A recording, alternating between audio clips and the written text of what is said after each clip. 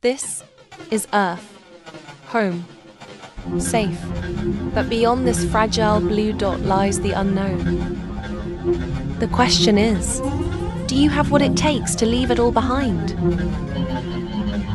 To become an astronaut is to defy gravity, to challenge human limits, to step where few have ever gone before.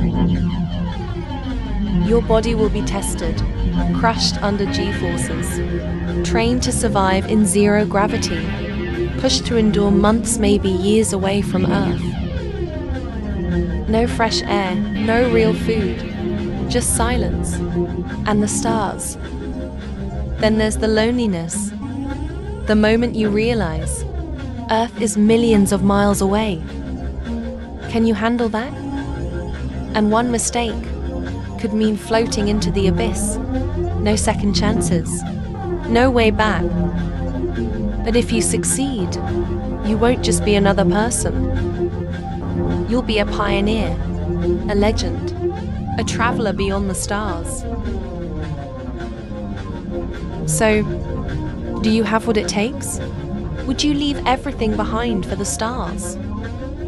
Tell me in the comments.